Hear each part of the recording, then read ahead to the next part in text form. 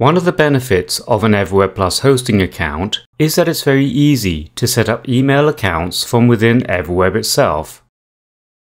In this video, I am going to set up a new email address that is associated with my domain name. A domain name is your website name, that is, the name by which internet users can access your website. To set up an email address to be associated with your domain name, Click on your EverWeb project file name at the top of the web page list on the left hand side of the application. Alternatively, use the File Edit Publishing Settings menu option. You will now see your project file's Site Publishing Settings screen. Scroll down to the Email Addresses section. Click on the Add button to add a new email address to the list above the button. In the pop-up window, type in your desired email name. Note that you can only enter valid characters. If you try to enter non-valid characters such as an asterisk, Everweb will ignore the input.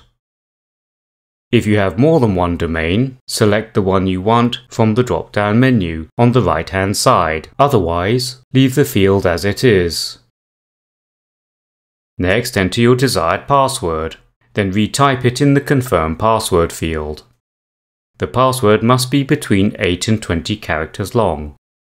We recommend that you use a combination of upper and lowercase letters, numbers, and symbols to create a secure password. When finished, click on the Create button. Your new email address will be added to the list. To configure your email address in Apple Mail or in another email client, click on the link how to configure email addresses in Apple Mail and follow the instructions. To configure your email address for use on a mobile phone, click on the link How to configure email addresses in a mobile phone and follow the instructions. If you want to change the password of your email address, click on the link How to update or change email account passwords and follow the instructions. Please check out our videos on all of these links for a full walkthrough of these features. You can also use the email addresses section to delete email addresses. Click on the email address that you want to delete, then press the delete button. You will now see a dialog box which warns you that deleting this selected email address will also delete any emails associated with that email address. To continue with the deletion, check the I understand checkbox before clicking on the Yes button.